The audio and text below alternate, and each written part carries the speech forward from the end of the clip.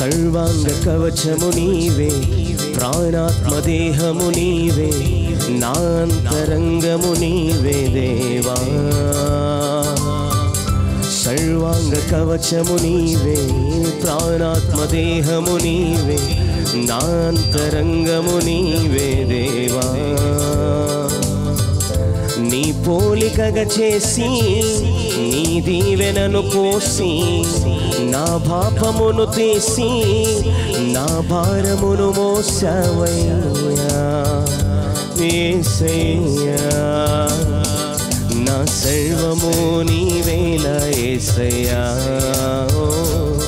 నా ప్రాణము నీవేల ఏసయ్యా. నా సర్వము నీవేల ఏసయ్యా. ఓ నా ప్రాణము నీవేల ఏసయ్యా.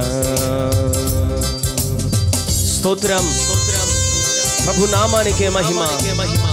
దుఃఖమునకు ప్రతిగా. ఉల్లాస వస్త్రము నీవై. బూడిదనకు ప్రతిగా. ఉదండమై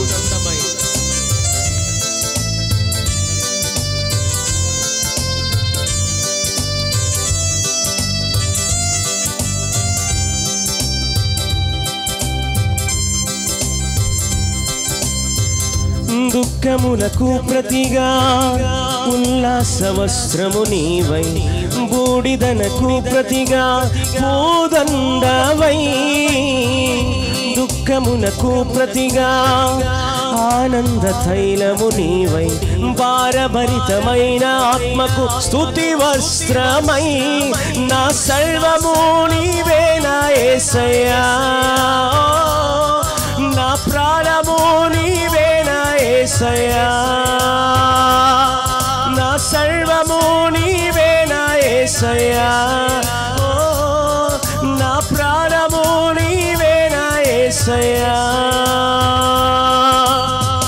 సర్వాంగ కవచము నీవే ప్రాణాత్మ దేహము నీవే నాంతరంగము నీవే దేవా. సర్వాంగ కవచము నీవే ప్రాణాత్మ దేహము నీవే నాంతరంగము నీవే దేవా. స్తోత్రం.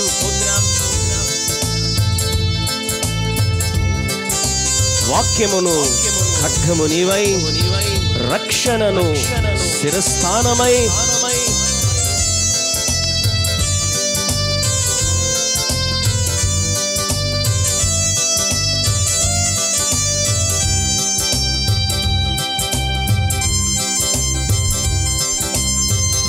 వాక్యమను ఖడ్గము నీవై రక్షణను శిరస్థానమై సత్యమను దత్తివి నీవై నాయసయ్యా నీతి అనుమై మరువులై విశ్వాసమనుడానులై సమాధాన సువార్త నీవై నాయసయ్యా నా సర్వము నీవే నాయసయ్యా నా ప్రాణ ఏసయ్యా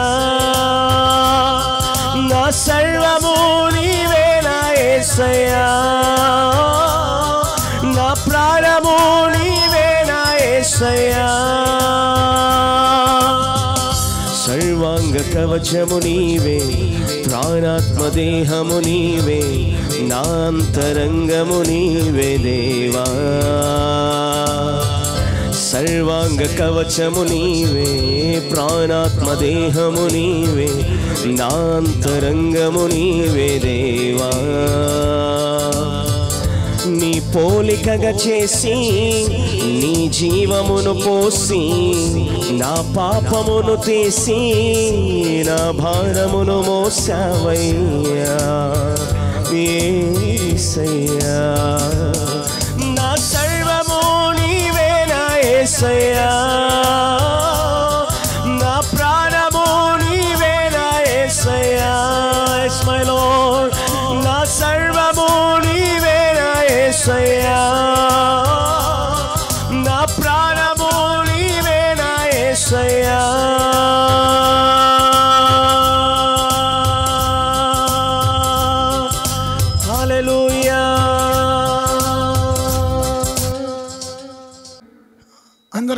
మరొకసారి వందనాలు చెప్తున్నామండి. ఈ సమయం ఇచ్చిన దేవదేవుడికి అలాగే దైవజనులు మోహిషయ్య గారికి విజయమ్మ గారికి బాబు నికోలస్ రప్పాయిలకి రూపాకి తన బా తన బిడ్డలకి శాంతికి బాబుకి అలాగే సతీష్కి తన కుటుంబానికి కూడా వందనాలు చెప్తున్నా. ఈ మంచి సమయంలో దేవుని కృప చాలా దినాలు బట్టి మరి మీ మధ్య నేను లేను. ఎందుకంటే కొన్ని కారణాల చేత నాకు ఆరోగ్యం బాగలేక మళ్ళీ మీ మధ్యకి వచ్చే అదృష్టం దేవుడిచ్చాడు. మీ కొరకు నేను ప్రార్థన చేస్తున్నా నా కొరకు మీరు ప్రార్థన చేయండి. సరే వాక్యం పది నిమిషాలు మాట్లాడమన్నారు దైవజనులు చాలా నెల్లయింది కనుక ఈరోజు మీరు పది నిమిషాలు మాట్లాడండి అన్నారు. శ్రద్ధగా ఏనండి కొంచెం నా భాష మీకు తెలియకపోవచ్చు మనతో మాట్లాడేది దేవుడని నమ్మండి. చూడండి బైబిల్ ఉన్నంటి వారు.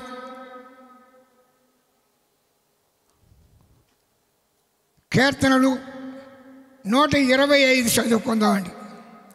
కీర్తనలు నూట ఇరవై ఐదు. యహోవ ఎందు నమ్మిక ఉంచువారు. కదలక. సియోను కొండవలే ఉంటారని. ఎరుసలేము చుట్టూ పర్వతము ఉన్నట్టు. యహోవా ఇది మొదలుకొని. నీత్యము తన ప్రజల చుట్టూ ఉంటాడండి ఆయన. నీతిమంతులు పాపము చెయ్యటకు ఎప్పుడు చాలండి. ఎప్పుడు నీతిమంతులు పాపం కోసం పరుగులెట్టండి అలాగుండి దేవుడి అందు భయము భక్తి కలిగి ఉంటే ఆయన ప్రజల చుట్టూ అంతా ఎప్పుడైనా చేతి కాసే ఉంటుందండి. అలాగే కాదు ఇటువంటి ఏ ఏ తెగులు వచ్చినా మీకు నేను తోడై ఉన్నాను. మీ గుడారానికి ఏ తెగులు రాకుండా నేను కాసుకుంటాను అన్నాడు నమ్మకం ఉండాలి. మనకి ఇది ఒక హెచ్చరిక. ఎక్కువగా మనం ప్రార్థన చేయవలసి ఉన్నాం. ఎక్కువగా దేవుని శుతించవలసి ఉన్నాం. ఎక్కువ దివారాత్రులు కన్నీరు పెట్టాలి. మోకాల మీద ఉండి. అలాగే ఎలిషా చేసిన ప్రార్థన ఏలియా చేసిన ప్రార్థన దానియాలు చేసిన ప్రార్థన దావీద్ చేసిన ప్రార్థన కావాలని మనం అడగాలి. అడిగితే దేవుడిని నిశ్చయముగా ఇస్తాడండి. ఏది నువ్వు అడిగినా ఇస్తాడు కానీ అయితే నువ్వు ఎలా ఉండాలి నూరో కీర్తన ఒకసారి చదువుకుందాం. చూడండి ఇక్కడ సమస్త ఏ కులం లేదు ఏ బలం లేదు ఏం లేదు. అందరూ భూమి మీద ఎంతమంది అయితే నాలుగు ఈ భూమి ప్రపంచం ఎంత ఉందో అంతమందిని పిలుస్తున్నాడండి.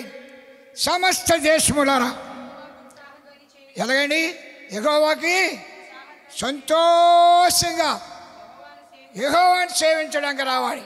మరొకసారి చదవము సమస్త దేశములారా యెహోవాకు ఉత్సాహధ్వని చేశారండి.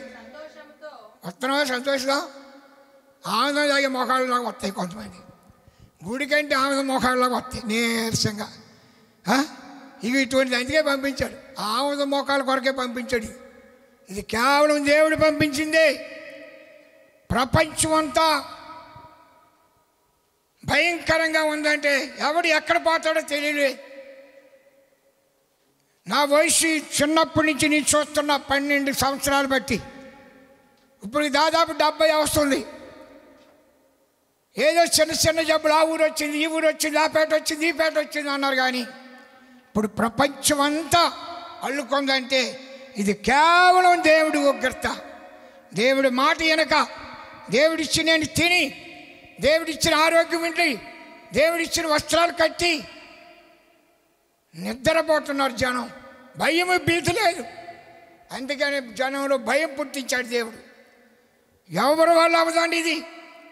ఎవరైతే పంపించారో ఆయనే దీన్ని పంపించేయాలంటే ఆయన కొరకు మనం ప్రార్థన చేయాలి. నిజమైన దేవుడు ఎవరు? తెలుసుకోండి. సృష్టికర్త ఎవరు? మనం ఏం కొలుస్తున్నాం? ఈ భూమిని ఆకాశముని సృష్టించింది ఎవరని బైబిల్ చదివితే తేటగా దేవుడు మాట్లాడతాడండి. ఇది అంతం అవుతుంది కొన్నాళ్ళకి. ప్రకటనలో ఉంది ఒక మాట కొత్త ఆకాశం కొత్త భూమి సర్వం మారిపోయే దినాలు వస్తున్నాయి. అది మారుకొని మారిపోయే దినాలు రాక మనకు మనం ఎత్తబడి గుంపులో చేరాలి. ఉందా మనసు? అది లేదు ఇది లేదు ఇది లేదు అది లేదు ఇది లేదు అని అనుకోవడమేనా దేవుడికి ఎప్పుడైనా కేటాయిస్తున్నావా? దేవుడికి ఎప్పుడైనా ప్రార్థన చేస్తున్నావా? దేవుని సృష్టిస్తున్నావా? దేవుని గణపరుస్తున్నావా? దావిది దివారాత్రులు చేశాడు. ఆయన ఎక్కడ ఉండేవాడంట? పెద్ద బంగ్లాలో ఉండేవాడండి ఆయన. మా ధనిక ధనిక వర్గంలో పుట్టాడు దావి అందుకనే రాజ్యం చేశాడేమో దేవుడు. అవునా? నాకంటే మీకు బాగా తెలుసు. గొర్రెల దొడ్లో ఉండేవాడు ఆయన అగాధంలో ఉండి గొర్రెలు మేపుతుండగా అగాధంలో కూడా నైట్ లేకపోయినా ఎండకు తడిసి వర్షానికి ఎండకు ఎండి వర్షానికి తడిసి చలికి వణికిపోతూ ఆ గొర్రెల మధ్యలో పడుకుంటూ దేవుని శుద్ధించేవాడు అంటండి. దేవుని గణపరిచేవాడు దేవుని మయం పరిచేవాడు అందుకే ఆయన మొత్తం తోటలేసి ఉంటాడు దేవుడు. ఈ దేశానికి నువ్వు రాజు అయితే బాగుంటావురా నాకు. నాకు నమ్మకమైన వాడు దా దావీదని. దావీదని పిలుచుకున్నాడని. సౌలు కూడా పిలుచుకున్నాడు. ఇస్రాయల్ మీద అంట వ్యక్తి బారు ఎత్తుండోడు అంటే సౌలు. సౌలు కూడా ఒక డబ్బు కలడా వాళ్ళ నాన్న గాడిదలు వ్యాపారస్తుడు దేవుడికి వాళ్ళకి వీళ్ళకి ఏమి లేదండి. ఈరోజు నిన్ను కూడా పిలుచుకుంటాడు. యథార్థమైన జీవితం కలిగి నువ్వు ఉంటే దేవుని యందు భయం భక్తి కలిగి ఉంటే దేవుడు అంటే భయం కలిగితే ఎప్పుడు నీ కుడి పక్కన నడుస్తాను అన్నాడు దేవుడు. కడుపు నిండగానే దేవుడు మర్చిపోతాం మనం. ఇది మానవుల బుద్ధి ఏమో మరి నాకు తెలియదు. అదేలియా అందుకని ఒక్కొక్క సరుపు సరుపుతుంటాడు ఇప్పుడు సరిసేది ఇప్పుడు అలగ్గా ప్రపంచం అంతా సరుస్తున్నాడు. అగ్రదేశం నశించిపోతుందో పక్క నుంచి. ప్రపంచంలో అగ్రదేశం ఏదండి? మీకు తెలుసు కదా? ఏది? గుడివాడ? చెప్పండి గుడివాడ? అమెరికా దేశం. ప్రపంచంలో అగ్రదేశం ఏంటి? అమెరికా వాడే దడదడలు ఆడుతున్నాడు. రష్యా చైనా భారతదేశం. అన్ని దేశాలు అట్టుడుకున్నట్టు ఉడుకుతాయి ఎందుకంటే ప్రధాని చచ్చిపోతాడని భయం వేస్తుంది పరిపాలించోడు చచ్చిపోతాడేమని భయం వేస్తుంది? ఈ మధ్యని చాలామంది మంత్రులు ఎమ్మెల్యేలు పోతున్నారు. దేవుడికి అది దేవుడు లేదండి. యథార్థమైన జీవితం కలిగి ఉండాలి. ఇప్పుడు చూడండి వంద కీర్తనాలుగా చదవండి ఒకసారి. సమస్త దేశములారా ఎగోవాకు ఉత్సాహధ్వని చేసి రండి. సంతోషముతో రండి. ఆ? సేవించుడి.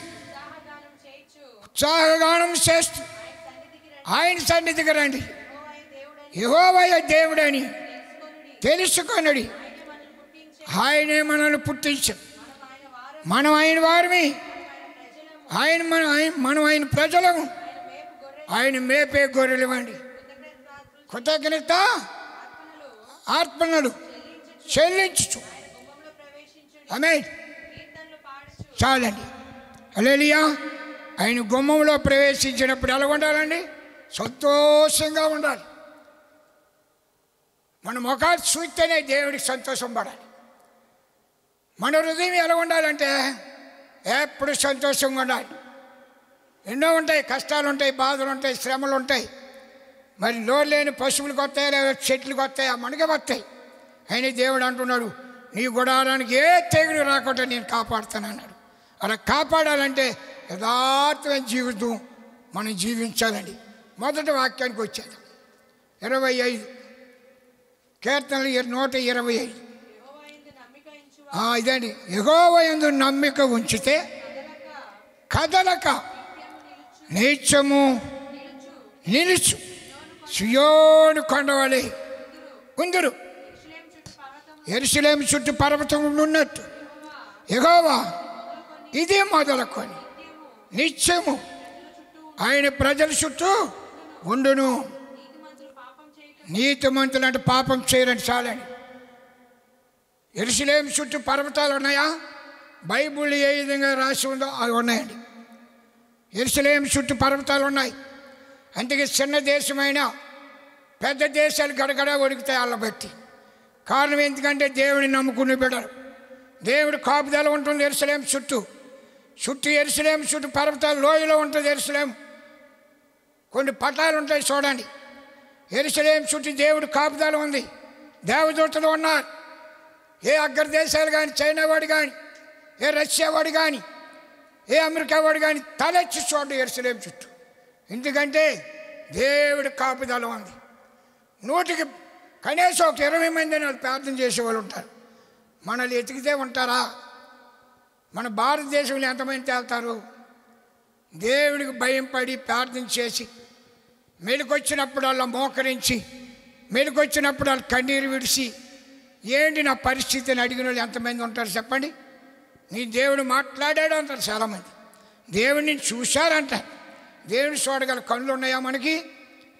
నలభై దినాలు నలభై పొగులు దివారాత్రులు ప్రార్థన చేశాడు ఆయన. ఆయనే స్వయంగా పిలిచా ఇద్దరు చక్కగా మాట్లాడుకున్నారు. ధర్మశాస్త్రం గురించి. నలభై పగలు నలభై రాత్రులు. ఆయనకే సరిగ్గా కనబడలేదు. ఎవరో ఆయన పేరు నాకు తెలియదు. చెప్పండి. ఎవరండి? మోసే మోసే అంట. దివారాత్రులు కన్నీరు పెట్టాడు ఆయన. ఎదరో బదరు స్నేహితుల్లాగా మాట్లాడుకున్నారు. ఆయన కనబడలేదు. ఈయన కూర్చొని మాట్లాడుతున్నాడు. ఆయనకు ఒక కోరిక కలిగింది. నిన్ను చూడాలయ్యా అన్నాడు చూశాడా? చూశాడండి దేవుణ్ణి? చూడలేదు. వెనక భాగంలో నేడు చూసినప్పటికేనంట ఆయన కళ్ళు దెబ్బతిన్నాయని ఉంది. అలేలియా దేవుడు అగ్ని ఉన్నాడు. దయించాగిని ఆయన ఎంతైనా ఓడి పడతాడు చెప్పండి. ఓడి పట్టి పట్టి పట్టి ఉగ్రతను పంపించాడు అంతే. ఇది చిన్నది అంటున్నాడు అండి. ఇప్పటికైనా నమ్మి ఎక్కడికి మీరు రావాలంటే నేను ముగించే ముందు తొంభై ఒకటి ఫస్ట్ చదవండి. ఏనండి మహోన్నతుడి సాటికి నివసించువాడే. సర్వశక్తి నీడని శ్రమించువాడు. రండి అక్కడికి. మహోన్నతుడి సాటికి వచ్చి మనం ఆయన నీడగానే వచ్చామనుకోండి ఏ దుష్టుడు మనల్ని మనల్ని శారడు. ఏ తెగులు మనల్ని అంటారు. ఆయన సర్వ సృష్టికర్త అండి. కోడి తన పిల్లలు ఏ విధంగా అయితే కాసుకుంటుందో గెద్దొస్తే ఆ విధంగా ఆయన కవులో భద్రపరుస్తాడు. ఏటగాడి ఊరిలోనిచ్చి తప్పించేది దేవుడేనండి. నిజమైన దేవుడు ఎవరో ఇప్పటికైనా మీరు ఎతకండి. నిజమైన దేవుని నాకు చూపించాలి. నిజమైన దేవుని చూడాలి. నిజమైన దేవుని దర్శించాలి. అయ్యా నన్ను దర్శించండి. భయంకర స్థితిలో ఉన్నాం. కష్టాల్లో ఉన్నాం. బాధల్లో ఉన్నాం. శ్రమల్లో ఉన్నాం. ఏ క్షణము ఏ గడియ ఎక్కడి ఏమొస్తుందో వస్తుందో భయంతో ఉన్నాం అని ఇప్పటికైనా తల వంచి ప్రార్థన చేయండి. నిజమైన దేవుడు ఎవరు మిమ్మల్ని దర్శిస్తాడు. కడగబడాలండి మనం. ఆయన రక్తంతో కడగబడ్డామని చెప్పుకుంటున్నాం కానీ ఏది కడగబడ ఏది మాండవలే ఏది ఆయనకి ఇష్టమైనట్టుగా చేయడం లేదు మనం. అందుకని యుగ్రత ఖచ్చితంగా ఆయన పంపించాడండి. దేవుడే పంపించాడు యుగ్రత అడగండి అడిగితే దేవుడు కార్యం చేస్తాడు. ఎరుసలేం చుట్టూ పర్వతాలు ఉన్నాయన్నారు కదా చూడండి ఎరుసలేం వెళ్ళి. చుట్టూ పర్వతాలు ఉన్నాయి కాపుడు అగాధములు ఉన్నట్టు ఉంటుంది ఎరుసలేం. దాని చుట్టూ ఎవడు ఏ శత్రువు రావడానికి వీళ్ళు వచ్చాడే చచ్చిపోయాడే ఏదో శత్రుడి అందుకని అలాగే మనలు కూడా ఆయన ప్రజల చుట్టూ ఆయన కాపుదలు ఉంటుంది కనుక ఈరోజు ఈ వాక్యం వినే మీరు దేవుడు మన చుట్టూ కాపుదలు ఉంచుతాడని నమ్మి దేవుని శుతిద్దాం గణపరుద్దాం మయంపరుద్దాం అందరూ మోకరించండి ప్రార్థన చేసుకుందాం. ఒకసారి ఈ మంచి సమయంలో మీ అందరితో కూడా కలిసి దేవదేవుని స్తోత్రించి ఆయన నామాన్ని కీర్తించే మంచి అవకాశాన్ని దేవుడు అల్పునైనా నాకు అనుగ్రహించినందులకు ప్రభుని స్తోత్రిస్తున్నాను. కొద్ది నిమిషాలు దైవజనులు మాట్లాడిన అదే టెక్స్ట్లో నుండి మరికొద్ది నిమిషాల దైవ సందేశాన్ని మనం ధ్యానం చేసుకుందాం. కీర్తన గ్రంథం నూట ఇరవై ఐదో కీర్తన మొదటి రెండు వచనాల్లో నుండి మనం కొద్ది నిమిషాల వాక్యాన్ని ధ్యానం చేసుకుందాం. యహోవాయందు నమ్మిక ఉంచువారు. కదలక నిత్యము నిలుచు సియోను కొండవలే ఉందురు. ఎరుషులేం చుట్టూ పర్వతములు ఉన్నట్లు యహోవా ఇది మొదలుకొని నిత్యము తన ప్రజల చుట్టూ ఉండును. చక్కని టాపిక్ తీసుకొని ఇంతవరకు దావిజన్లు మాట్లాడారు. ఎవరైతే యహోవా ఎందు నమ్మిక ఉంచుతారో యహోవా ఎందు నమ్మిక ఉంచువారు ఎలాంటి పరిస్థితి వచ్చినా కదలక నిత్యము నిలిచే సీయోను కొండవలే ఉంటారు. అది ఎలాంటి ఉప్పెన్ లాంటి సమస్య వచ్చినా సరే ఎలాంటి భయంకరమైన పరిస్థితుల్లో నుండి వారు వెళ్ళాల్సి వచ్చినా సరే వారికి ఒక గొప్ప ధైర్యం మా దేవుడు మాతో కూడా ఉన్నాడు. ఈ సమస్య మమ్మల్ని ఏం చేయలేదు. ఈ బాధలు మమ్మల్ని ఏం చేయలేవు. ఈ శ్రమలు మమ్మల్ని ఏం చేయలేవు. మా దేవుడు వీటన్నిటిపైన మాకు విజయం ఇస్తాడు. మేము నమ్ముకున్న మా దేవుడు సజీవుడు. మేము నమ్ముకున్న మా దేవుడు ఈ సమస్య కంటే గొప్ప దేవుడు. మమ్మల్ని సమస్యలన్నిటి నుండి విడిపిస్తాడు. మమ్మల్ని ఓటమి పాలు చేయడు గ్యారంటీ మా దేవుడు మాకు జయమిస్తాడు. దేవుని మీద నమ్మకం ఉంచేవారు ఏదొచ్చినా కదలరు. ఈరోజు నమ్మకం ఉంచామని చెప్తూ ప్రతి చిన్నదానికి కదిలిపోతున్నామే? జ్వరం వస్తే కదిలిపోతాం. పిల్లోడు పరీక్షల్లో తప్పు తక్కువ మార్క్స్ వస్తే కదిలిపోతాం. పిల్లకి అనుకున్న టైంలో పెళ్ళి సంబంధం కుదరకపోతే కదిలిపోతాం. పిల్లలకి జాబ్స్ రాకపోతే కదిలిపోతాం. అంటే ఏ ప్రతి చిన్నదానికి మనం కదిలిపోతాం. దేవుని మీద నిజంగా నమ్మకం ఉంచిన వాళ్ళు ఎలా వాళ్ళు దానికి రెస్పాండ్ అయ్యారో దాన్ని ఎలా ఎదుర్కొన్నారో బైబిల్ గ్రంథంలో కొంతమందిని మీకు నేను చూపిస్తాను. ఒకసారి మనం ఆలోచిస్తే మనం దావీదు భక్తుడిని మనం చూస్తాం. ఈ కీర్తన రచించిన ఈ దావీదు భక్తుడిని మూడో కీర్తనలో చూస్తాం. అసలు ఆయన పర్సనాలిటీ దేవుని మీద నమ్మిక ఉంచిన ఆయన ఎంత ధైర్యంగా సమస్యను ఎదుర్కొంటున్నాడో సమస్యను ఎంత లైట్గా తీసుకుంటున్నాడో ఒకసారి చూస్తే మతిపోద్దు మనకి. ఆయన ఏమంటాడో చూడండి ఆయన ఏమంటాడో చూడండి. మూడో కీర్తనలో ఆరో వచనం చూడండి. పదివేల మంది దండెత్తి నా మీదికి వచ్చి మోహరించినను. నేను భయపడ్డాం. పదివేల మంది నా మీదకి వచ్చేసి నా ఇంటి మీదకి వచ్చేసి పదివేల మంది. నా ఇంటి ఇంటి చుట్టూ మోహరించి వాళ్ళు ఏ వార్నింగ్లు ఇచ్చినా సరే అరే లేపేస్తావరా నేను ఈరోజు చంపేస్తావరా ఈ రోజు నీ లాస్ట్ రోజురా నువ్వు అయిపోయావరా ఇలాంటి ఎన్ని ప్రగల్భాలు పలికినా నేను మాత్రం భయపడ్ను. ఇదేంటండి? ఏంటండి ఆయన ధైర్యం? ఆయన ఏమంటాడో చెప్పనా? ఆ పై లైన్ చూస్తే కావున నేను పండుకొని నిద్రపోయి మేలుకొందును. ఏది? పదివేల మంది ఇంటి మీదకి వచ్చి ఇంటి చుట్టూ మోహరించి పెద్ద పెద్ద వార్నింగ్లు ఇస్తే ఈయన మాత్రం చక్కగా తినేసి చక్కగా ప్రార్థన చేసుకొని చక్కగా పండుకొని చక్కగా ప్రశాంతంగా నిద్రపోయి మళ్ళీ పొద్దున్నే చక్కగా లేచి మళ్ళీ మోకరించి దేవా నీకు స్తోత్రమని పొద్దున్నే లేచి మళ్ళీ దేవుని స్తోత్రిస్తాడంట. ఎలా నిద్రపోతున్నావు దావిదా నీకు అసలు? అసలు అంత కూల్గా ఎలా చెప్తున్నావు? పదివేల మంది ఇంటి మీదకి వచ్చినా సరే నీకు భయం లేదా? అసలు అంత కూల్గా ఎలా సమాధానం చెప్తున్నావు? అంటే ఆయన అనే మాట ఏంటో చెప్పనా? మూడో వచ్చిన యహోవా నీవే నా కీడముగాను నీవే నా అతిశయాస్పదముగాను నా తల ఎత్తువాడవుగాను నువ్వు ఉన్నావయ్యా నా ధైర్యం ఏంటో చెప్పనా? ఎలుగెత్తి నేను యహోవాకు మొర్ర పెట్టున్నప్పుడు ఆయన తన పరిశుద్ధ పర్వతము నుండి నాకు ఉత్తరం ఇస్తాడు నేను మోకరించి ఎంత బావ సమస్య అయినా నేను మోకరించి చేతులెత్తి ఎలుగెత్తి ఏహో మొర్ర పెడితే చాలు ఆ పరిశుద్ధ పర్వతం నుండి నాకు ఉత్తరం ఇస్తాడు ఆయన జవాబిస్తాడు. ఆయన చూసుకుంటాడు వాళ్ళందరి సంగతి. నేనెందుకు భయపడాలి? నేనెందుకు దిగులు పడాలి?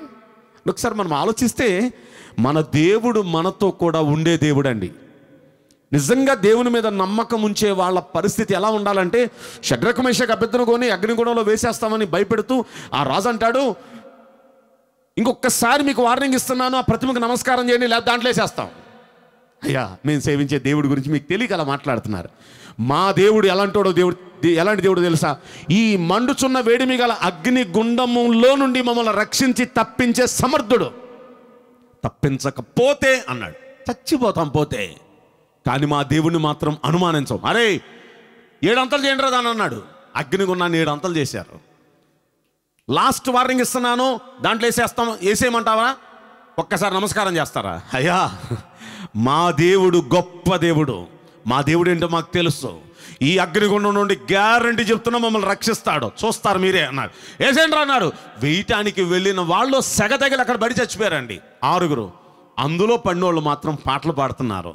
ఇందాక మనం పాడుకున్నామే అలా వాళ్ళ పాటలు పాడుతూ దేవుని స్థుతిస్తూ ఆ అగ్నిగుణంలో నాట్యం ఆడుతుంటే పాటలు ఎక్కడ నుండి అర్థం కాక పైకెళ్ళి చూస్తే ఆ ముగ్గురు ఆ ముగ్గురుతో పాటు మా దేవుడు దిగొచ్చి మమ్మల్ని రక్షిస్తాడు అన్నాడే. ఆ దేవుడు వాళ్ళతో కూడా అగ్నిగుణంలో వాళ్ళతో పాడుతున్నాడు వాళ్ళతో నాట్యం ఆడుతున్నాడు నిజంగా చూసి మతిపోయింది. నేను చూసేది కళా నిజమా? అరే మీరు చూడండి అంటే వాళ్ళందరూ కూడా చూసి నిజమేనయ్యా. వాళ్ళ దేవుడు వాళ్ళతో కూడా ఉన్నారయ్యా. మనం వేసిన ముగ్గురినే కానీ నాలుగో వాడు కనిపిస్తున్నాడు. దేవదూతల్లాగా ఉన్నా చూడయ్యా. చూచి మర్చిపోయింది అరే బయట రండిరా బయటకు వచ్చారు. వాళ్ళ శరీరాల వాసన చూస్తే అగ్ని సెగ కూడా ఆ వాసన కూడా శరీరాలకు తగలలేదంటండి. అంటే అగ్ని వాళ్ళని ఏం చేయగలిగిందంటే చేతులకి కాళ్ళకు కట్టేసిన కట్లు కాల్చగలిగింది కానీ కనీసం వాళ్ళ వస్త్రాలు కూడా కాల్చలేదు. అద్భుతం కదండి. అంటే దేవుని మీద మనం ఎంత నమ్మకం ఉంచుతామో అంత ఎక్కువ కాపాడతాడు దేవుడు మనల్ని. దేవుడి మీద నమ్మకం ఉంచేవారు ఇందాక దైవజనులు అన్నట్లు కథలరు ఏదొచ్చినా ప్రాణాలైన వదిలేస్తారు కానీ దేవుని మీద అపనమ్మకం ఉంచరు. ప్రతిదానికి మనకు భయమేనండి. ప్రతిదానికి భయమే. భయం ఉన్నవాడు రోజు చస్తాడు. దేవుడి మీద నమ్మకం ఉన్నవాడు ఒక్కసారే చస్తాడు. ఆ ఒక్కసారి కూడా ధైర్యంగా చచ్చిపోతాడు. ఈ రోజున మన దేవుడు మనతో కూడా ఉన్నాడనే నమ్మకం. ఇదిగో ఇక్కడే కదండి బోల్డ్ అనే స్థలాల్లో దేవుడు వారితో కూడా ఉన్నారని నమ్మకంతో వాళ్ళ డైలాగులు చూస్తే అరే అసలు మనం నిజంగా నమ్మకం లేదు మనకు అనిపిస్తుంది. మనం కేవలం విశ్వాసం అని పిలిపించుకున్నాం నేతి బీరకాయలో నెయ్యి ఎంత ఉందో మన విశ్వాసంలో విశ్వాసం అంత ఉంది అనాలి అంటే ఒకసారి ఆలోచిస్తే ఈరోజు విశ్వాసం కలిగిన మనము ప్రద్దానికి కదిలిపోతున్నామా? ప్రద్దానికి ఊగిపోతున్నామా? ఇంకో మాట చూపిస్తాను చూడండి మీకు నలభై ఆరో కీర్తనలో అక్కడ ఆ కీర్తనాకారుడు ఏమంటాడు చూద్దాం. మొదలు వచ్చిన దేవుడు మనకు ఆశ్రయమును దుర్గమునై ఉన్నాడు. ఆపత్కాలములో ఆయన నమ్ముకోదగిన సహాయకుడు ఆపదొస్తే నమ్మదగిన సహాయకుడు ఆయనే. అంటూ రెండో వచ్చిన అంటారు. కావును భూమి మార్పు నొందొచ్చు నడిసముద్రాల పర్వతాలు మునగొచ్చు వాడి జలములు ఘోషిస్తూ నురుగు కట్టొచ్చు ఆ పొంగునకు పర్వతాలే కదిలి వెళ్ళిపోవచ్చు మేము మాత్రం భయపడం. అరే ఏంటయ్యా మీకు అంత ధైర్యం? ఏడో వచ్చిన చదువుకోండి మా ధైర్యం ఏంటో అంటాడు. సైన్యములకు అధిపతి యహోవా మాకు తోడై ఉన్నాడు. యాకోబును ఉద్ధరించిన దేవుడు మాకు మమ్మల్ని ఉద్ధరిస్తాడు.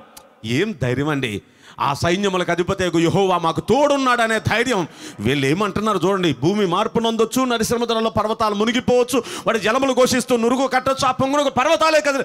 అలాంటి ఉప్పెళ్ళు వచ్చిన పర్వతాలను ఊపేసి అలాంటి ఉప్పెళ్ళు వచ్చిన మేము మాత్రం భయపడం అంటున్నారు. మీ ధైర్యం అంటే? సైన్యములకు అధిపతి యహోవా మాకు తోడున్నాడు. ఈ మాట చెప్పింది ఎవరంటే కోరహు కుమారులు. ఒకసారి మనం ఆలోచిస్తే దేవుని మీద నమ్మకం ఉంచే అట్ట ఉంచాలండి. అలా నమ్మకం ఉంచిన వాళ్ళ దేవుడు కాపాడతాడండి. నిజంగా మన దేవుడు మనల్ని కాపాడే దేవుడు అండి మన దేవుడిని నమ్ముకున్న మనందరం ఆ విధమైన నమ్మకం మనం ఉంచాలి. ఏమంటే ఇద్దరు మా ఇద్దరిని మీకు చూపిస్తాను. ఒక ఆయన గురువు గారు ఇంకొక ఆయన శిష్యుడు. వీళ్ళిద్దరూ కలిసి మంచి ప్రార్థనా పరులు అయితే ఒక రోజున శిష్యుడు బయటికి వెళ్ళాడు పొద్దున్నే లేచి బయటికి వెళ్ళేటప్పటికి ఒక దృశ్యాన్ని చూశాడు. ఆ దృశ్యం ఏంటంటే కత్తులు బరుసలు వేసుకొని గుర్రాల మీద వచ్చారండి శత్రువులు.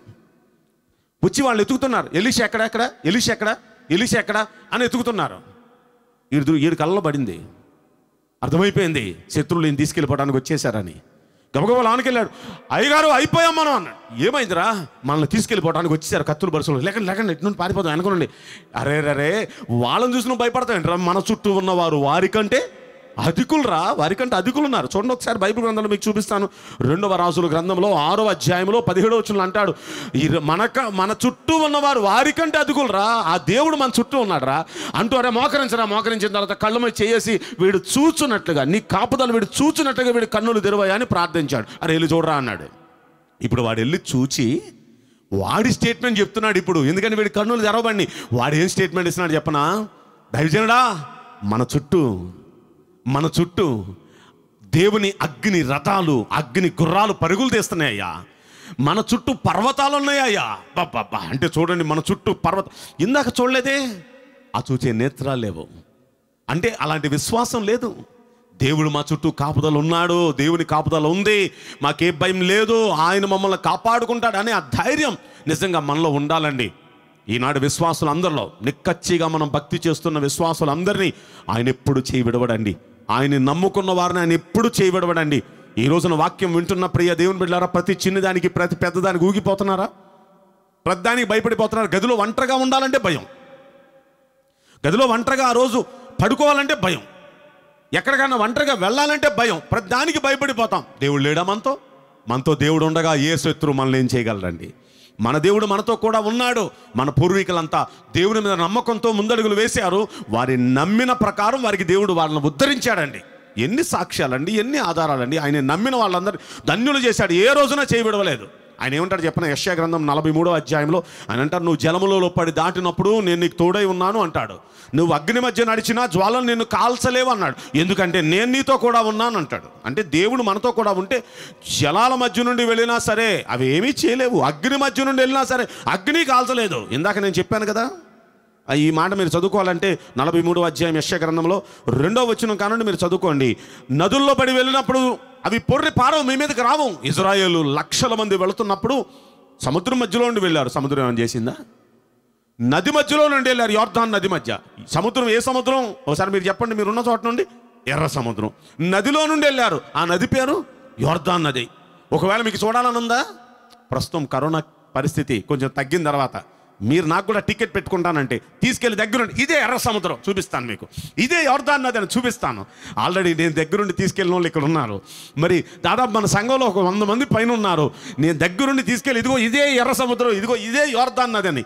ఒకసారి మనం ఆలోచిస్తే ఆ ఎర్ర సముద్రంలో కాళ్ళు పెట్టేటట్టు చేశాను ఆ యోర్ధాన్ నదిలో దిగి స్నానం చేసేటట్టు చేశాను అని ఒక్కసారి మనం ఆలోచిస్తే అదే యోర్దాను నది ఆగిపోయిందండి. ఆయన పిల్లలు అడుగు పెడితే అదే ఎర్ర సముద్రం చీలిపోయిందండి. ఈ వాగ్దానం నిజంగా దేవుని నమ్మిన వారి పక్షాన ఆయన జరిగించాడు. మరి అగ్ని మధ్య నడిచినది కాల్చదు అంటే ఇదిగో అగ్ని మధ్య నడిచిన ఇందాక చెప్పానుగా షడ్రక మేషక అభ్యర్థులకు వాళ్ళని అగ్ని కాల్చలేదు అగ్ని గుణంలో కూడా పాటలు పాడి ఆనందిస్తున్నారు. అంటే దేవుని మీద నమ్మకం ఉంచేవారు ఈ విధంగా దేవుడు కాపాడుకుంటాడు. కనుక ప్రియ దైవ జనాంగమ దేవుని మీద నమ్మకం ఉంచండి. అనుమానం లోనుందా? అనుమానం లోనుంటే కార్యం జరగదు. అనుమానమే పెనుపోతూ ఉంటారు కదా. అసలు మనం అనుమానాన్ని మీదే ముందు ముందు పెట్టుకొని వెళ్తూ ఉంటాం. మన మన ముందు అనుమానం నడిచిద్ది. ప్రతి దానికి అనుమానిస్తాం ఒకటి పది సార్లు అనుమానిస్తాం. మన అనుమానం వల్లే మనం తినేస్తుంది.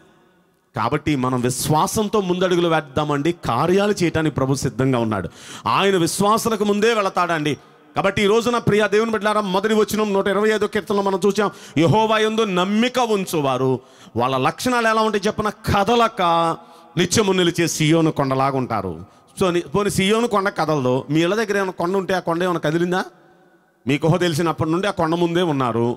మీ నాన్నగారిని అడగండి మీ అమ్మగారిని అడగండి మీ తాతగారిని అడగండి. మీ ముందే ఆ కొండ ఉంది కదా? తాతలు తాతల కానుండి ఉంది ఆ కొండ. ఇప్పటికీ అక్కడే ఉంది ఆ కొండ. ఏమాత్రం కదల్లా. ఇంకా మన వాళ్ళు ఏమైనా పేల్చేసి దాన్ని పగలు కొట్టేసి ఆ రాళ్ళు తీసుకెళ్ళిపోతే తప్ప ఆ కొండ మాత్రం అక్కడ నుండి కదిలి వెళ్ళడం అనేది జరగదు. కొండ ఎలాగా కదలదు? దేవుని మీద నిజంగా నమ్మకం ఉంచిన వారు ఏదొచ్చినా కదలరు. అలా కదలక నిలబడి ఉంటారండి. వారికి దేవుడు తన కాపుదలు ఇస్తాడు. మీకు ఈ సందర్భంలో ఒక మాట నేను చెప్పాలి. తండ్రికి ఆరోగ్యం పెద్ద బాగోదు. తల్లి ఇంట్లో నుండి బయటికి వెళ్ళి ఉద్యోగం చేసే పరిస్థితి లేదు. ఆ ఇంటికి పోషణ కూడా చాలా కష్టమైపోతుంది. తండ్రి కొంచెం ఆరోగ్యం బాగున్నప్పుడు తన ఒక్కగానొక్క కుమార్తెను కొద్దిగా చదివిచ్చాడు బాగానే. ఇప్పుడు చదివిన కుమార్తె ఏమందంటే దిగులు పడి తండ్రి ఏడుస్తూ ఆర్థిక ఇబ్బందులతో వీళ్ళ బాధపడుతూ ఉంటే నాన్న దిగులు పడొద్దు. నేను జాబ్ చేస్తాను. ఇంటిని నేను పోషిస్తాను. ధైర్యంగా ఉండనని యవ్వన వయసులో ఉన్న కుమార్తె జాబ్ చేయడానికి బయలుదేరిందండి. ఆమె ఏం చేస్తుందంటే పాపం డబుల్ డ్యూటీ చేస్తుంది. పొద్దున్న వెళ్ళిపోతుంది దాదాపు ఎనిమిది ఆ టయానికి. రాత్రి ఎనిమిది గంటల వరకు జాబ్ చేయాలి. జాబ్ చేసి ఆమె ఉన్న ప్రాంతం నుండి వాళ్ళ ఊరికి రావాలంటే ఒక బస్సు. వాళ్ళ ఊరి పులిమేర వరకు వస్తుంది. అక్కడ నుండి కనీసం ఒక కిలోమీటర్ నడిచి ఆమె ఇంటికి నడిచి రావాలి. అలాంటి పరిస్థితుల్లో రాత్రి ఎనిమిది గంటలకి జాబ్ ముగించుకొని ప్రతిరోజు తన షెడ్యూల్ ఎలాంటిదంటే రాత్రికి ఎనిమిది గంటలకి జాబ్ ముగించుకొని ఆమె బయలుదేరి తన బస్ క్యాచ్ చేసుకొని ఆమె అక్కడికి వచ్చేటప్పటికి ఎనిమిదిన్నర తొమ్మిది అవుతుంది. ఇంకా అక్కడ దిగి ఆమె ఊర్లోకి అది ఇంటీరియర్ ప్లేస్ ఒక ఒక కిలోమీటర్ నడుచుకుంటూ ఒంటరిగా ఎవరుండరు ఆ టైంలో? అలా నడుచుకుంటూ తన ఇంటికి రావాలి. కానీ మంచి ఫ్యామిలీ అండి. దేవుని అందు నమ్మిక ఉంచిన ఫ్యామిలీ. వాళ్ళని దేవుడు అలా నడిపిస్తున్నాడు. ఆమెకు మంచి జాబ్ని దేవుడు ఇచ్చాడు. ఆ జాబ్ చేసుకుంటూ చాలా చక్కగా ఈ డబుల్ డ్యూటీ చేస్తూ తన కుటుంబాన్ని జం బ్రహ్మాండంగా పోషిస్తుందండి. తండ్రి తల్లి కూడా దిగులు లేకుండా హ్యాపీగా బతుకుతున్నారు. ఆ పరిస్థితుల్లో ఈమె కూడా చక్కగా జాబ్ చేస్తుంది. ఒక రోజున మరి యవనస్తురాలు ఈమెని నాశనం చేయాలని ఇద్దరు యవ్వనో యనోస్తులు కనిపించింది ఈమె టైం టేబుల్ అర్థమైంది కదా? ఈమె ఏ టైంలో ఎలా వస్తుందో అర్థమైంది కదా? వాళ్ళు మాట వేసారండి సరిగా వెళుతూ ఉన్న సమయంలో ఆ రోడ్లో నిర్మానుష్యంగా ఉన్న సమయం రాత్రి తొమ్మిది గంటలకి కటిక చీకట్లో నడుచుకుంటూ వెళ్ళాలి కిలోమీటరు. ఆమె ధైర్యంగా నడుచుకుంటూ వెళ్ళిపోతుంది. నడుచుకుంటూ వెళ్ళిపోతూ ఆమె పాటలు పాడుకుంటూ వెళ్ళిపోతుంది. పాటలు పాడుకుంటూ ప్రతిరోజు పాటలు పాడుకుంటూ ఉంటే ధైర్యం వచ్చేస్తుంది అనమాట దేవుని పాటలు పాడుకుంటూ ఉంటే లేకపోతే దేవుని స్థుతి చెల్లిస్తూ ఉంటే ఒక ధైర్యం వచ్చేస్తుంది. ఆమెకి ఎప్పుడు ధైర్యం ఏంటంటే ఆమె బస్ దిగిన కానుండి దేవుని పాటలు పాడుకుంటూ దేవుడు నాతో కూడా ఉన్నాడు దేవుడు నా ముందు ఉన్నాడు దేవుడు నా పక్కన ఉన్నాడు అనుకుంటూ ఆనందంగా సంతోషంగా పాటలు పాడుకుంటూ వెళ్ళిపోతుంది. ప్రతిరోజు ఇదే. ఆ రోజు కూడా అలాగే జరిగిందండి. ఆ రోజు కూడా అలాగే జరిగింది. కానీ ఆ వింత ఏంటంటే వాళ్ళిద్దరూ మంచి జబర్దస్తి. వాళ్ళిద్దరూ ఈ అమ్మాయిని పట్టుకొని పాడు చేసి నాశనం చేసేద్దాం అనుకున్నారండి. అనుకొని మాటేశారు. సరే వాళ్ళ పరిస్థితి ఏంటంటే ఈ అమ్మాయి నడుచుకుంటూ వస్తుంటే వాళ్ళిద్దరు చూస్తున్నారు అవతల నుండి. ఈ అమ్మాయి కూడా వాళ్ళని చూస్తూ నడుచుకుంటూ పాట పాడుకుంటూ వెళ్ళిపోయింది. ఏమాత్రం భయపడకుండా నడుచుకుంటూ ఇంటికి వెళ్ళిపోయింది. ఆ తర్వాత రోజు పేపర్లో ఒక అమ్మాయిని పలానా స్పాట్లో పాడు చేసి చంపేశారు అని ఆ చంపేసిన ఇద్దరు దొరికారు దొరికిన వాళ్ళ ఫొటోస్ కూడా వేశారండి. తీరా ఆ ఫొటోస్ చూసి ఆ పేపర్లో గత రాత్రి నన్ను పాడు చేయటానికి వచ్చినట్టున్నారు వీళ్ళు. కానీ వాళ్ళ పక్కన మాటేశారు దొరికిపోయారు నా స్థానంలో ఎవరో బలైపోయారు. అనుకుంది తను నిజంగానే. ఎందుకు ఆమెకు అనిపించింది ఒక్కసారి నిజంగా నా కోసం వచ్చారా ఆ అమ్మాయి కోసం వచ్చారా తెలుసుకుందామని పోలీస్ స్టేషన్ ఆ జైలుకి వెళ్ళిందండి వాళ్ళ నుంచిన జైలుకి. జైలుకి వెళ్ళి రాత్రి మీరు పలానా చోట నేను చూచాను కదా ఏమైంది నిజమేనా ఇది అంటే వాళ్ళు ఒక మాట చెప్తున్నారు వాళ్ళు చెప్తూ వాళ్ళు ఆశ్చర్యంగా చెప్తున్నారమ్మా నువ్వు పేదదానివి కదా మీ ఫ్యామిలీ చాలా పేదరికం కదా నీ పక్కన ఎప్పుడు అంత జైంట్స్ని మేము ఎప్పుడు చూడలేదు. అదేంటి నిన్ను ఏదో చేద్దామని అసలు నిన్ను నిన్ను పాడు చేద్దామని వచ్చాం మేము. కానీ నీ ప్లేస్లో ఇంకొక అమ్మాయి అయిపోయింది. కారణం ఏంటంటే నువ్వు మమ్మల్ని చూస్తూ వెళ్ళావు. మేము గమనించాం. మేము నిన్ను చూస్తున్నావు నువ్వు మమ్మల్ని చూస్తున్నావు కానీ నీ పక్కన మాత్రం నువ్వు ఆనందంగా వెళుతున్నావు. నీ పక్కన ఇద్దరు అటు పక్కన ఒకడు ఇటు పక్కన ఒకడు జెయింట్స్ జబర్దస్తిగా ఉన్నారు. అసలు వాళ్ళలో వాళ్ళల్లో ఒక్కడు మమ్మల్ని నలిపి చంపేస్తాడు. అంత బలాఢ్యులు నీ పక్కన అటు ఇటు నడుస్తున్నారు. నిన్నేదో చేద్దామని మేము వచ్చాం కానీ నిన్నేమీ చేయలేకపోయాం మేము. కానీ నీ వెళ్ళిపోయిన తర్వాత నీ వెనకాల ఇంకొక అమ్మాయి వచ్చింది. ఆమె జీవితాన్ని ఇచ్చేసాం కానీ మేము దొరికిపోయాం. ఇలా అయింది. ఆమె చచ్చిపోయింది మా చేతుల్లో అని చెప్తే అసలు అలా నువ్వు చావాల్సింది నీ పక్కన ఎవరమ్మా జెయింట్స్ ఎంత ఇస్తున్నామా వాళ్ళకి? అంటే ఆమె ఒకటే అంది. నా పక్కన జెయింట్స్ ఎవరిని నేను తెచ్చుకునేంత స్థాయి స్థితి నాకు లేదయ్యా.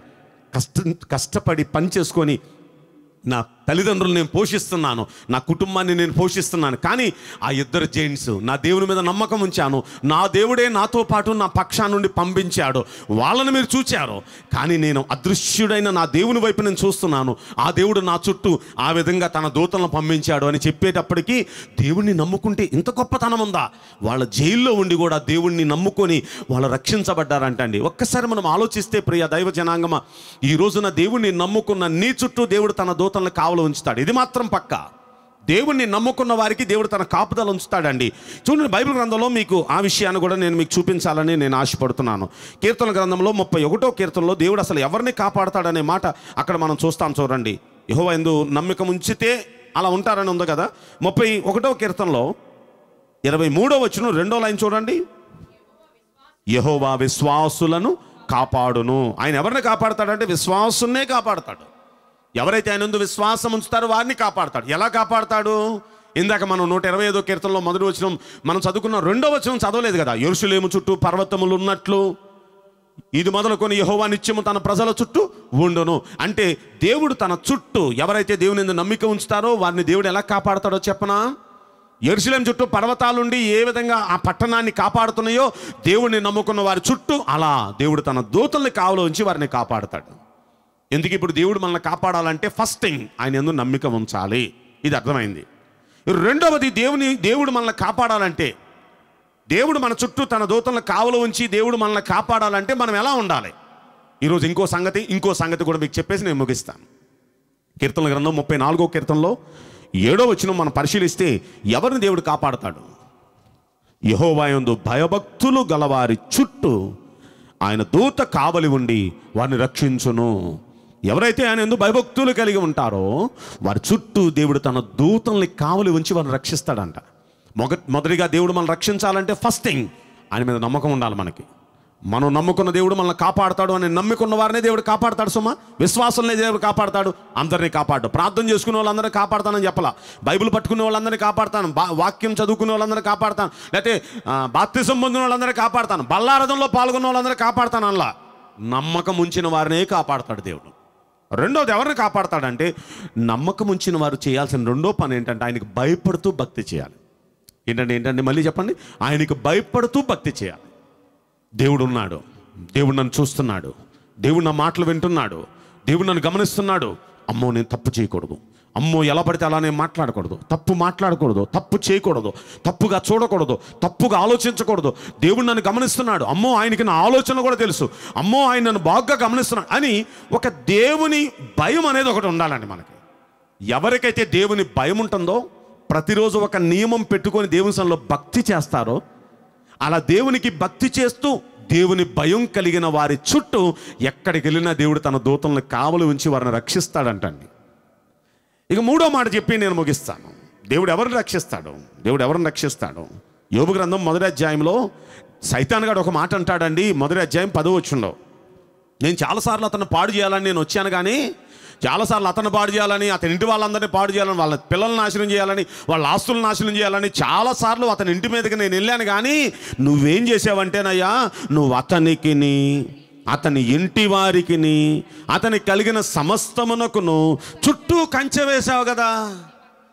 నువ్వు అతనికి కంచె వేశావు అతని ఇంటి వారందరికీ చుట్టూ కంచె వేశావు అతనికి కలిగిన ఆస్తులన్నిటికీ చుట్టూ కంచె వేశావు. అతన్ని నువ్వు కాపాడుతున్నావు. నేను నాశనం చేద్దామని చాలాసార్లు నేను వెళ్ళాను కానీ నా వల్ల వల్ల అది కాక అతని చేతి పనిని నువ్వు ఆశీర్వదిస్తున్నావు దీవిస్తున్నావు. అందుకు అతను ఆస్తి దేశంలోని గొప్ప గొప్పగా వర్ధిల్లింది విస్తరించిపోయింది. అతని చేతి పనిని నువ్వు దీవిస్తున్నావు ఆశీర్వదిస్తున్నావు. అతని చుట్టూ కాపుదలేసావు అతని పిల్లలందరి చుట్టూ కాపుదలేసావు అతని ఆస్తులన్నీ చుట్టూ కాపుదలేసావు నేను ఆయన ఏం చేయలేకపోతున్నా. నాశనం చేయటానికి వాడు వస్తాడు. వాడిని మన మీదకి రాకుండా దేవుడు కాపాడతాడండి. ఎవరిని కాపాడతాడంటే దేవుడు అన్నాడు ఆయన ఊరినే కాపాడలేదు. నేను అతను కాపాడటానికి కారణం ఏంటో చెప్పనా? ఎనిమిదో వచనంలో చెప్తున్న కారణం అతడు యథార్థవంతుడు న్యాయవంతుడు. దేవుని ఎందు భయభక్తులు కలిగిన వాడు చెడుతనాన్ని విసర్జించిన వాడు అని చూడండి నాలుగు మాటలు చెప్పాడు ఐదోది అలాంటి భక్తుడు భూమి మీదే లేడు. ఐదు విషయాలు. ఈ ఐదు విషయాలు మనలో ఉంటే దేవుడు మనల్ని కూడా కాపాడతాడు. మొదటిగా ఏంటి యథార్థవంతుడు.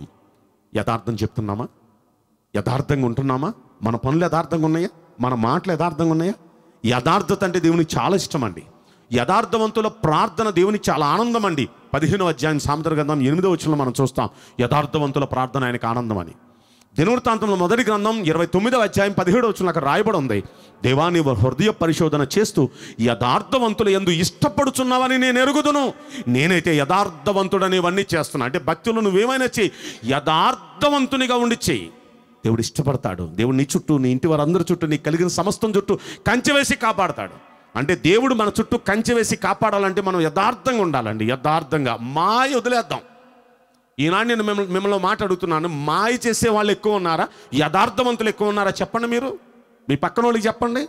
మాయగాళ్ళే ఎక్కువ ఉన్నారు. సరే సరే సరే. బైబిల్ పట్టుకున్న వంద మందిలో ఎంతమంది యథార్థంగా ఉంటారు? ఎంతమంది మాయగాళ్ళు ఉంటారు? ఒకసారి చెప్పండి.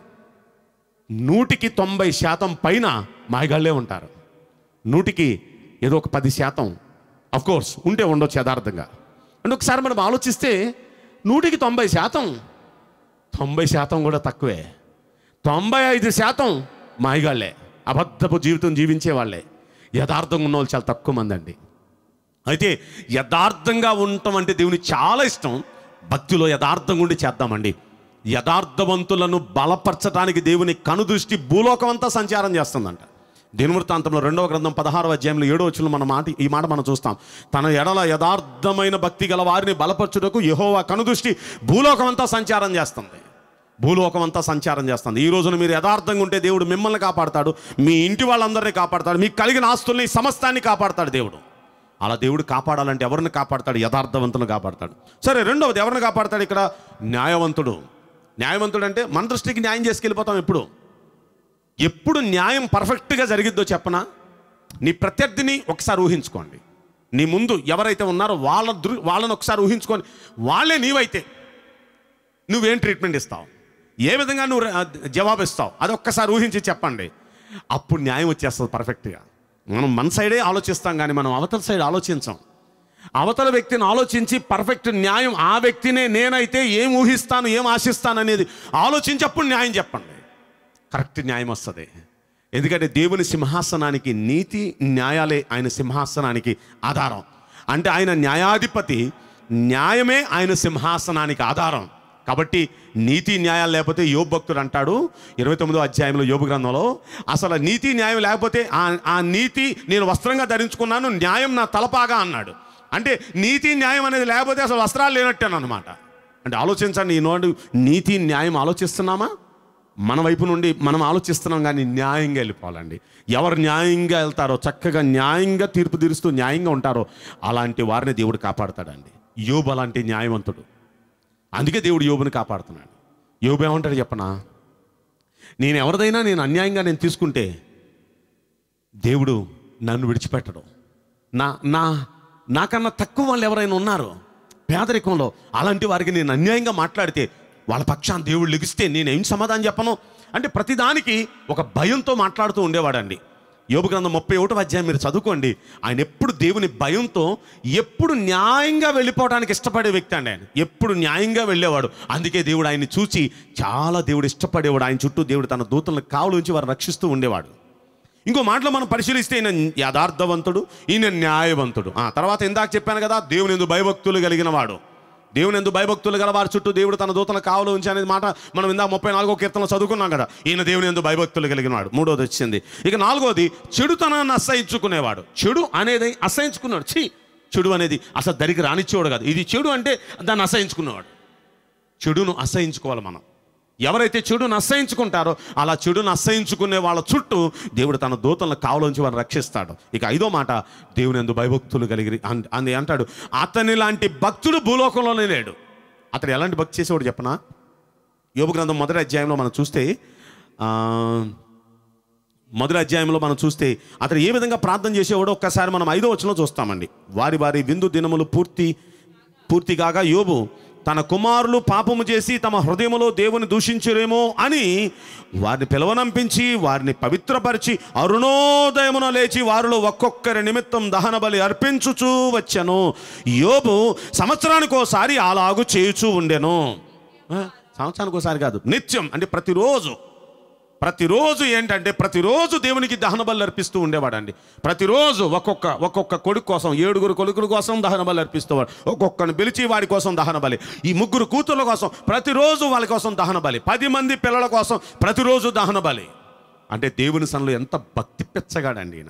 అసలు అంత భక్తుడు భూలోకంలోనే లేడని దేవుడు అందుకనే చెప్పాడు. దేవునికి బలిపీఠాలు కట్టారు చాలామంది కానీ ఈయన ప్రతిరోజు బలిపీఠం కట్టి దేవునికి బలి అర్పిస్తూ ఉండేవాడు ఎంత భక్తి పిచ్చగాడండి ఈయన భక్తి పిచ్చ. ఎంత గొప్ప భక్తుడు. భూలోకంలోనే లేడని దేవుడు సాక్ష్యం ఇచ్చాడంటే చూసుకోండి అంత బాగా భక్తి చేసేవాడు. ఈరోజు భక్తి చేస్తున్నాం. చేయాలి కాబట్టి. చేయకపోతే మళ్ళీ బాగోదు కాబట్టి. ఏదో దేవుడి దగ్గర తీర్మానం చేసుకున్నాం కాబట్టి. దేవుడు ఏదో కాపాడాలని ఆశతో.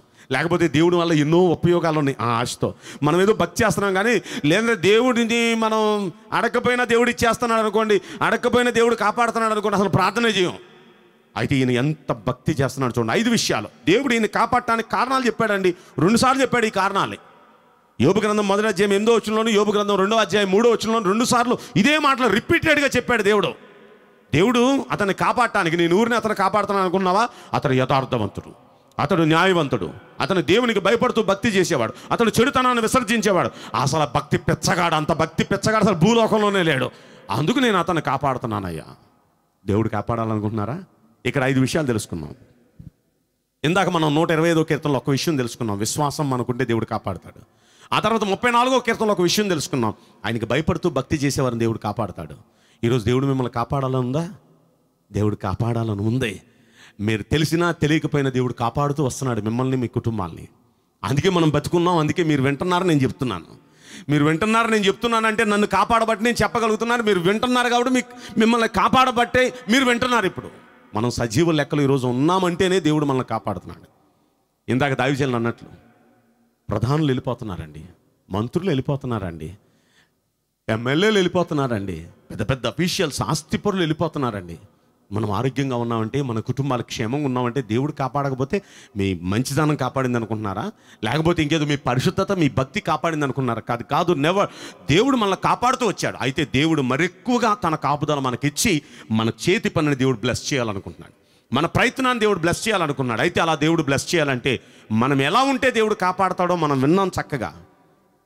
ఏడు లక్షణాలు మనం కలిగి ఉంటే దేవుడు కాపాడతాడు. మరొకసారి రిపీట్ చేద్దామా? ఏంటి దేవుడు మనల్ని కాపాడాలంటే మనలో ఉండే లక్షణాలు?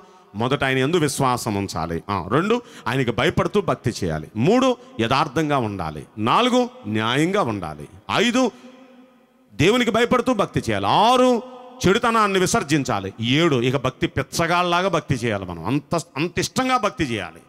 అలా ఇలాంటి భక్తి ఏడు పాయింట్స్ మనం పాటిస్తే యోబును కాపాడిన దేవుడు దావీదును కాపాడిన దేవుడు షడ్రకమేషకు అభ్యర్థునుగోని కాపాడిన దేవుడు ఇజ్రాయేలీని కాపాడిన దేవుడు బైబిల్ గ్రంథంలో ఉన్న భక్తులందరినీ అద్భుతాలు చేస్తూ అద్భుత రీతిలో వారిని కాపాడిన దేవుడు మనల్ని కూడా అంత ఆశ్చర్య రీతిలో ఆయన కాపాడి ఆయన కృపలో భద్రపరుస్తాడు. అలాగే మనం కూడా జీవించడానికి ఒక తీర్మానం చేసుకుందాం. అందరూ తల్ల వంచండి కళ్ళు మూసుకోండి.